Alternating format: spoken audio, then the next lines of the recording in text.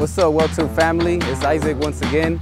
In today's video, I'm here at Republic Testing Lab, and I'm gonna show you guys what to expect at a testing lab, your do's and don'ts.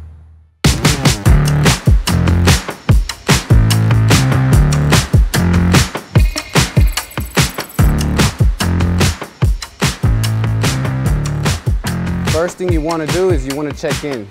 Um, you're gonna have to show your driver license. They wanna make sure it's you, not nobody else, trying to take the test for you. All right guys, so I already checked in. Now I'm waiting for the inspector to come give me my pipe and then I can start my test. Isaac Madrano. Yes sir, that's me. I'm Scott Witkowski. I'll be your test supervisor for the day. Come on out in the booth. We'll get you associated with everything and familiar. This is going to be the booth you're going to be in. You're going to be in booth number eight. You can go ahead and put your stuff down. We're going to go over a couple things. While you're in the shop, we want to make sure that you're being safe. You know, so you got to wear the proper PPE, earplugs, face shields when you're grinding, safety glasses, things of that nature. If you mm-hmm. would, read this quick safety requirement and sign your name for me. Sounds good. All welders will wear face shields, protective eyewear, and gloves while testing. Protective eyewear will be worn at all times while inside the shop or testing area. I have read and understand the safety requirements described above. I also understand that Republic Testing Laboratories works for and reports all resorts to the company listed above. Okay. Thank you, sir. Yes, sir. You're going to be in booth number eight. I've got the machine turned on. You've got your TIG rig in here. So basically, let me give this back to you first. Mm-hmm. The test you're going to be taking today is going to be a 6-inch Schedule 40 carbon steel pipe nipples. You're going to be welding it out with E ER70S2. Mm-hmm. It's going to be in the 6G fixed position in a 45. Okay? Yes, sir. So that's basically going to be the test. What we have here is a copy of the WPS, the welding procedure, mm-hmm. and this is going to be your your guide, is as of to what your preheat max interpass would be, your amperages, your voltages for the, you know, diameters of electrodes you choose to weld with. We can use 332 1 8 If you were welding in the field and you had big enough pipe, you could use a 532 diameter TIG wire. Mm-hmm. They've got you know limitations for that on this WPS. Okay. What we also have on this WPS are, are joint details and fit up requirements. For, for like your root face, you can be a 16th plus or minus a 16th.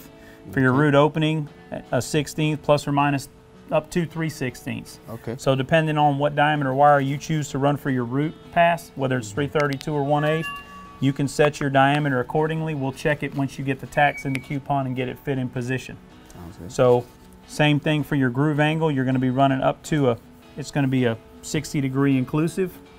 So the bevels on the pipe are 30 degrees plus or minus 5 degrees. And, and this will be the joint detail that we're welding to today.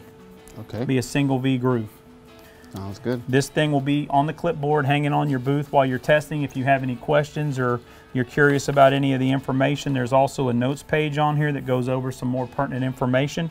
If you, you know, happen to need that information, you're more than free to refer to this document while you're testing mm-hmm. as a guideline.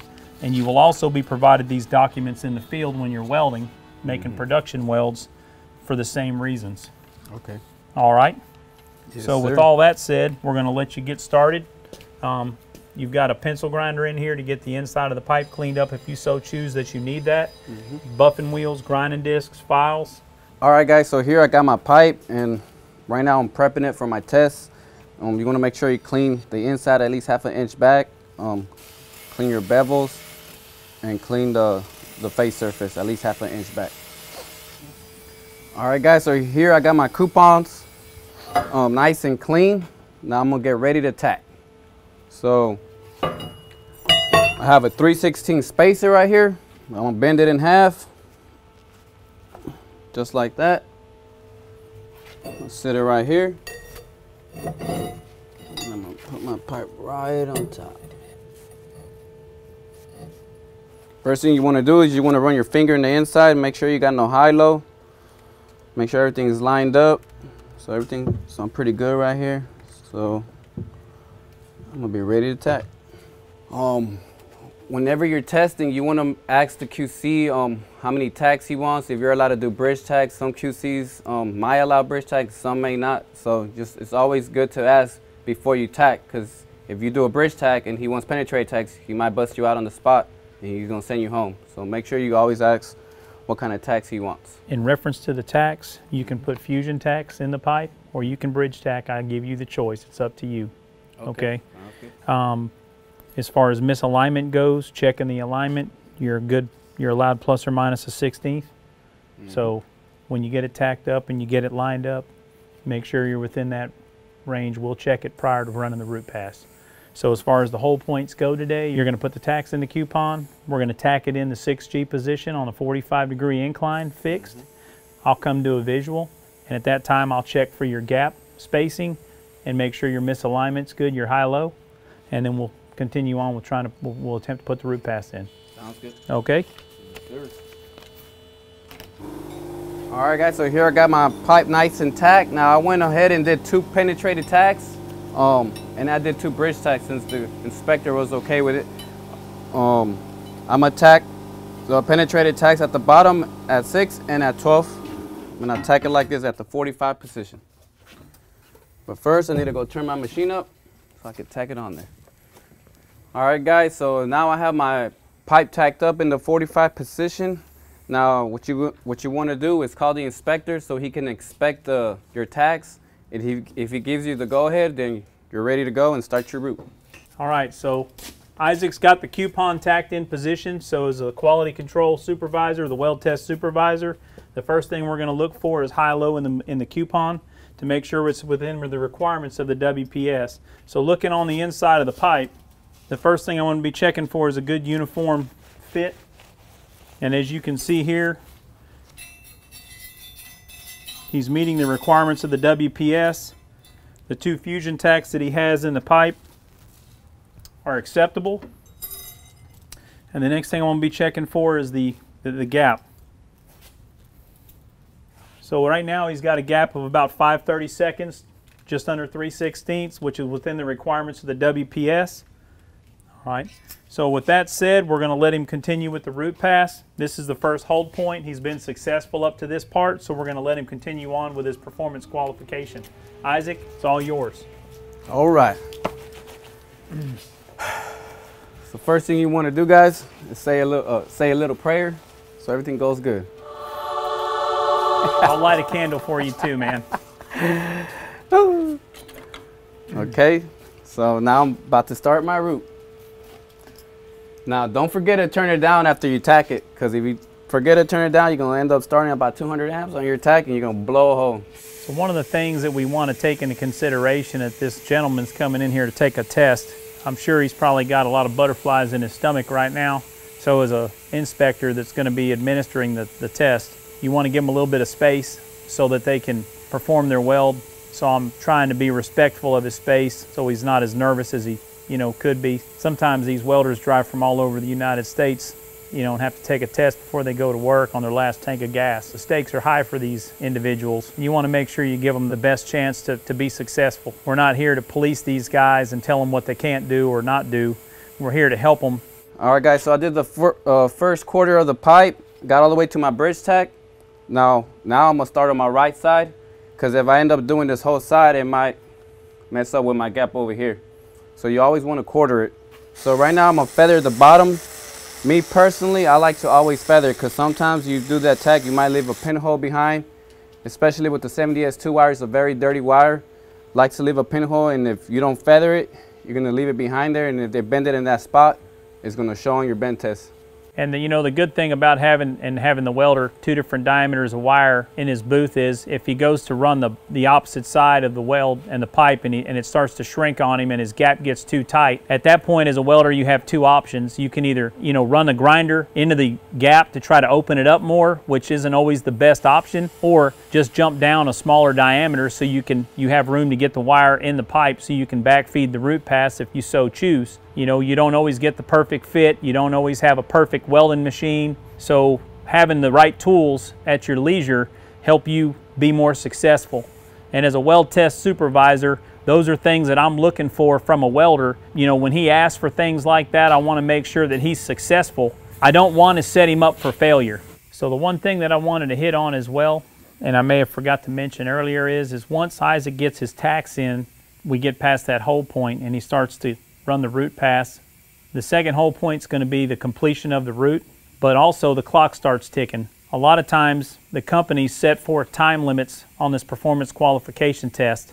So for instance, this six inch schedule 40 TIG all the way out, we would expect to see that weld done in, in about two and a half hours. If it takes longer than that, the time and length that it takes him to make a weld becomes a quality issue. A good thing to have is a bunch of tungstens because if you're going through tungstens, you're gonna waste time. Like the inspector said, sometimes you're gonna be time. And if you're there grinding tungstens, it's taken away from, from your time of your test. As a good point of view or a good checkpoint, the test supervisor just handed Isaac more wire. He should check and make sure that the wire he was handed is the proper wire that's supposed to be used on the test. Right here it has it written, making sure it's a 70S2. Sure enough, it's correct. So thank I'm you, Isaac. Something also that I like to see with what Isaac's doing is, is when he started up on that side, he came, he, he didn't just start right up at the edge of the groove where his tack stops. He, he fired up, he, he initiated his arc slightly back away from the open groove, and he's preheating that tack and that feathered area before he gets there so he can make sure that he makes a sound tie-in. It's very important that the tie-ins are sound. What a lot of people don't realize is 90% of the repairs on these big projects, pipe jobs and vessel jobs are on the root pass. So we need to pay special care and attention to applying that root pass. Normally the fill and cap passes aren't that much of a problem. The root pass is the most difficult part of the weld to make. It's the most important. So you should take the most care and certainty to make sure that you put it in there one time and not have to, you know, go back and repair things four or five times. Or find out after the weld's been completely made on volumetric NDE that you had a problem on the root pass. Those repairs are very costly, and those are the, those are the uh, first things that we're trying to avoid. So now I'm, I'm finished with my root. As soon as you're done with your root, what you want to do is inspect it. Inspect it before you call QC. Make sure everything's good. Boom, boom, boom, boom, boom, boom. And everything looks legit. So now I'm gonna go get the inspector and see what he has to say about it. Since Isaac's got his root pass complete, that was the second hold point of the qualification.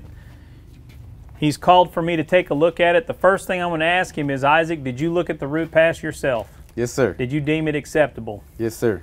Okay, the reason why I ask the welders those questions is because if he doesn't look at his weld before he calls me, shame on him or her. This is your weld. You want to make sure that you've got it in the way and the manner that you want. Once you call for an inspection, you're telling me that you've approved it yourself. If you call for an inspection and there's issues and indications with this weld and you didn't look at it, from a test supervisor standpoint, we're done welding. Because if you don't care enough to look at your weld before you call somebody to take a look at it, then that, that type of welder is not what the industry is looking for. We're looking for people that are quality conscious. They're proud of what they can do. We want to see that in the weld. so what I'm going to do right now is I'm going to check this weld for the visual requirement to make sure the tie-ins are made. I'm going to use a mirror so I can get down in the pipe and a very good flashlight. With today's technology, we, flashlights, you can get a lot for a little in a small package. So I'm going to do the visual right now.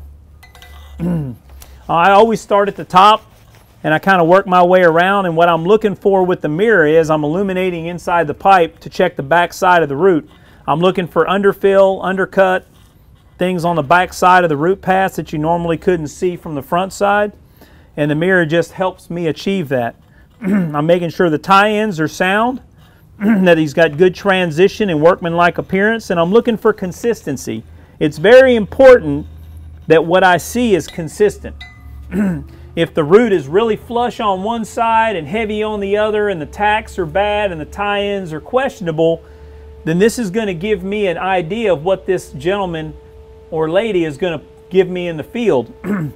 what most welders don't understand is even though we're doing this test on a carbon steel pipe with 70S2 wire, his code limitation allows him to weld carbon, chrome, stainless of all different series 300 series, you know, duplex, stainless. So we want to make sure that this welder can weld all those things by showing us what he can do with his or her ability with carbon steel. That may not be as easy as it sounds. The code gives us that requirement, and the company may choose to let that welder weld those alloys with this test in the field. So, with knowing that, as a test supervisor, I have to look at this weld as if it's not just a carbon steel weld. I've got to look at this weld and see if there's techniques that Isaac's putting in this pipe that may cause an issue for an alloy, like 308, 316L, or duplex.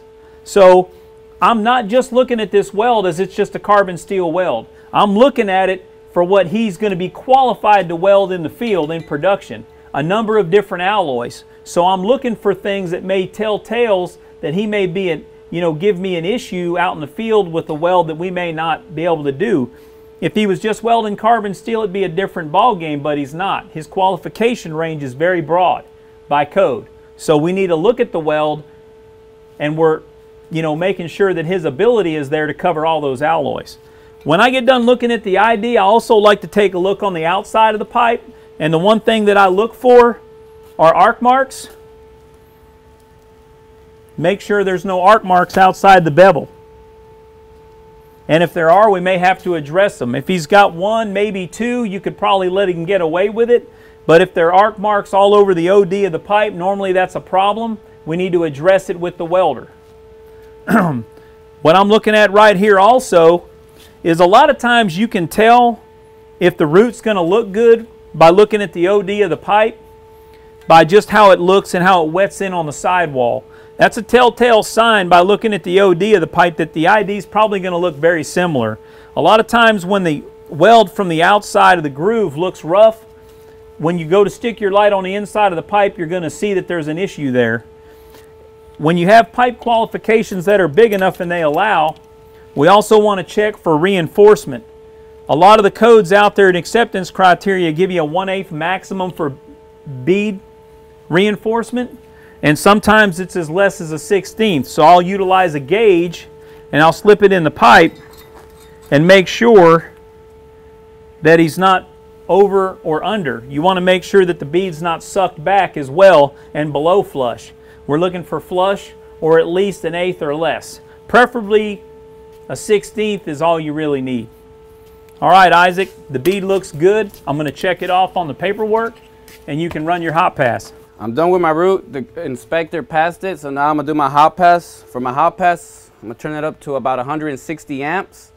Um, also, the 70S2 wire is very dirty, so after you do your root, you're to have a lot of silica on the surface of your root. So what I always like to do is wire wheel it, but sometimes even though you wire wheel it, it still leaves a little bit in there. So I always like to scratch it with the grinding disc. That way I get a clean puddle and not a dirty puddle. Again, this is 70S2. 70S6, it's a lot cleaner. Um, you don't always have to do it with the S6, but with the S2 is usually what they have at testing labs. So if you're not too uh, good with 70S2, I suggest you practice because they're not always going to have the S6 at your disposal. For your hot pass, you want to make sure you run hot, not too hot, and you don't want to run cold. If you run cold, you actually end up going slower and you end up putting more heat in your pipe, which then causes you to suck that root out. Um, so make sure you burn pretty hot. So my hot pass, I'm gonna do it with a 1.8.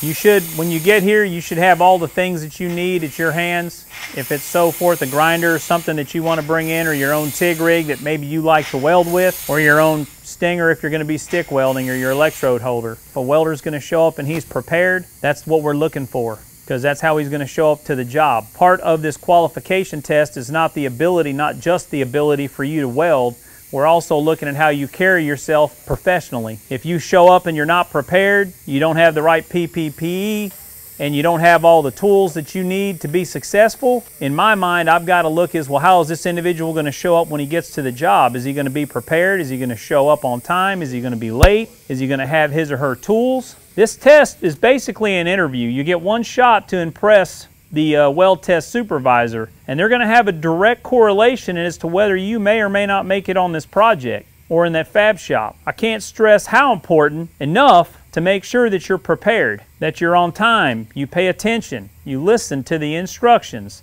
and you ask the right questions. And there's never a dumb question. If, if you've got a question about how to make that weld successful and it's not on the documentations that are provided to you by the test lab or the company that you're testing for on the WPS, ask the weld test supervisor for that information. I mean, this is your test. This is what's going to matter whether you go out there and make a job or not. All right, so there's my hot pass. Now if you zoom in, you can see uh, I got a couple silica right here, um, little spots. So what I like to do, um, I only grind out where I have my silica spots. I grind them off, um, and that way on my fill pass, it should be a clean fill pass and I should have no silica. So for my cap, I should have to do no grinding at all. So it's usually on the root and hot pass that I grind all my silica. And I'm just gonna flush it with this pass.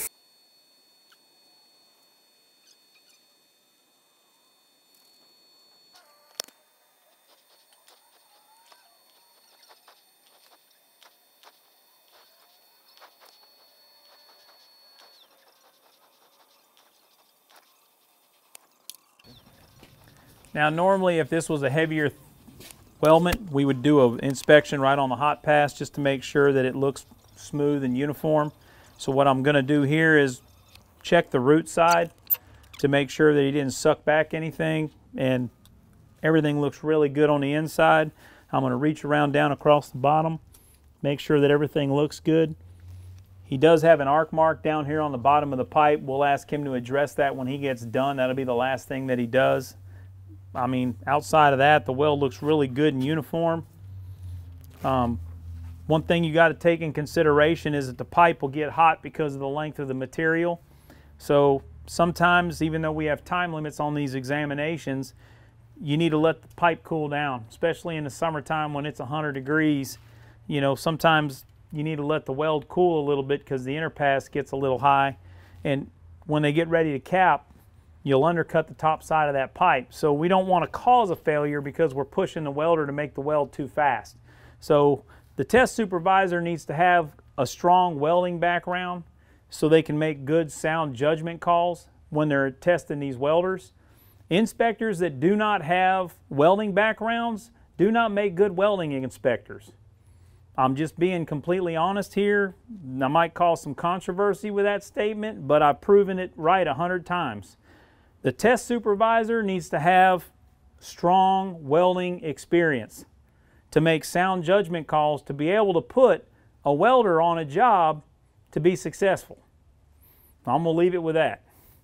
All right, weld looks good, Isaac. We're ready to cap. Yes, so it is summertime here in Texas, so it's extremely hot. Um, like the inspector said, is the pipe is hot. So if you want to get a nice cap with um, no undercut. It's best to let it cool off about five minutes. Um, I'm under my time, so I'm good. So I'm gonna let it cool off. Um, and then I'm gonna throw a 2B cap and then we're done. And hopefully we get to test it, do a bend test, and hopefully it passes. Now another thing to keep in mind is you wanna keep your area nice and clean. If the inspector comes here and you have a bunch of rods on the floor, he's gonna think you're a safety issue, you know, so he's not gonna you know, want to pass you if, if you're leaving a big old mess behind. You know, it's a safety hazard, so make sure you always keep your area nice and clean, no rods on the floor. You don't want to slip or roll an ankle or anything like that.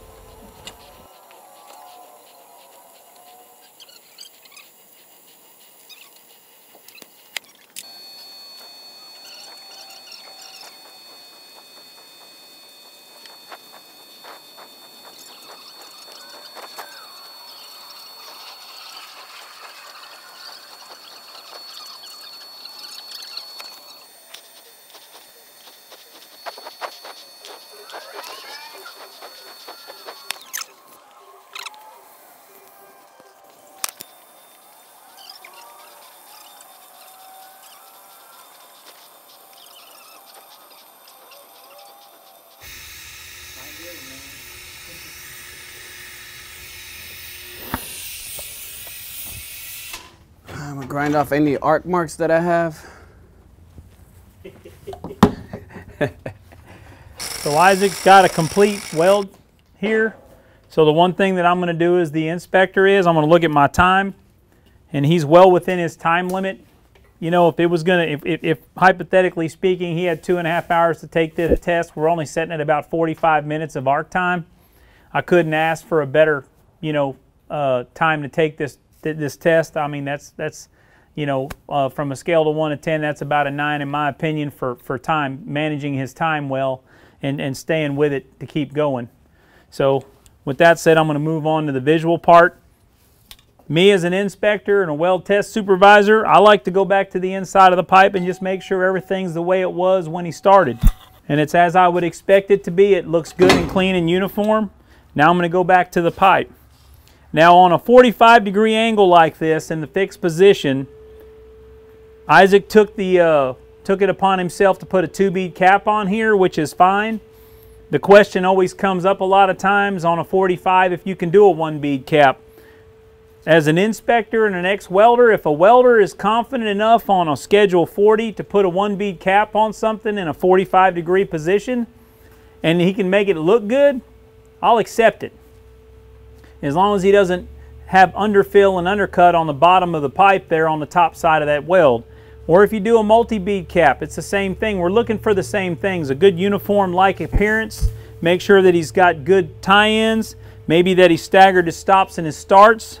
If he's got any visual discontinuities like the tungsten arc mark that we had on the bottom he addressed, I can't ask for a better weld. Another thing that we look for is in the, that he put a, he went with a beaded cap is that he's got at least a 50% overlap on his passes for coverage, and he does that. So as of right now, the weld's acceptable.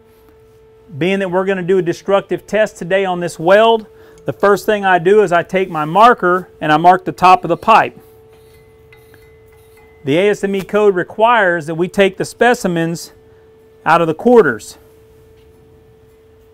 So if I don't locate the top of the pipe here, I won't know what orientation to take the specimens. This is very important. So I have to locate the top of the pipe and I'll put his identification number on the pipe so we can keep traceability of it. His traceability number is IQ and I'm not being a smartass with that. It's just his initials. All right, with that said, we're ready to pull the material. I've got my trusty pliers here. Test is over.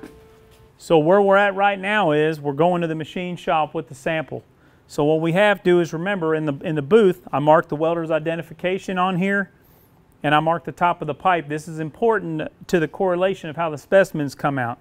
Now per ASME section 9 and the wall thickness and diameter of this material, I have to do inch and a half wide face and root bends. So I'm going to bring our technician in and he's going to set this cut up and rotate and locate the material to take the specimens in the right position. All right, Rodrigo, it's all yours. Okay, so we've gone from getting a welder set up, giving him a test, doing the visual evaluation, which is one of the most important parts of testing a welder is the VT, to, you know, the acceptance of the visual inspection, going to the destructive testing part, prepping the material, and now we're in the lab and we're going to perform the bends. We've got two face and two root bends that Isaac has to pass for him to go get a job. So we're going to initiate the test.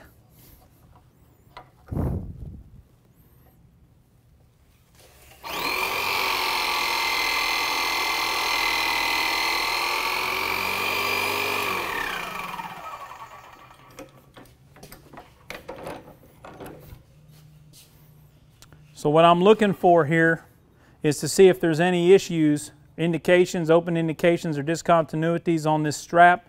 And from what I can tell there, the face is right there, the cap, the weld cap's been ground down. It looks like a clean bend, so that bend's acceptable.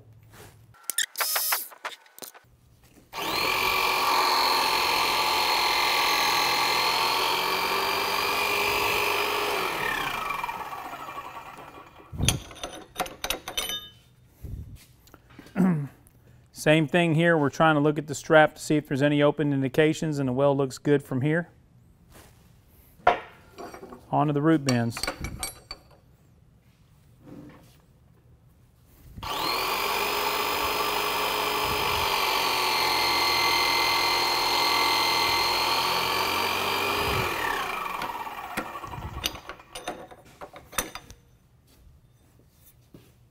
No open discontinuities. Root looks good.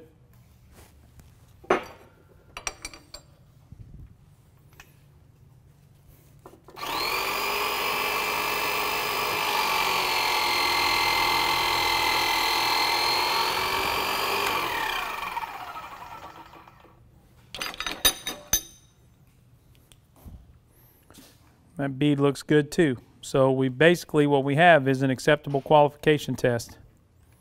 So this weld's acceptable. Now we've got the destructive testing complete. We're ready to do a certification on this welder and put him to work. So that basically concludes the testing today for Isaac.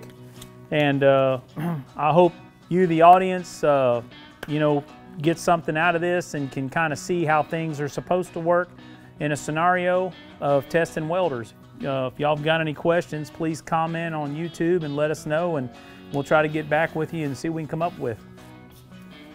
All right, guys, so there you have it. Um, here are my bend tests. They bend nicely, so I got the job. Remember to hit the, the like button and also the subscribe button. See you guys later.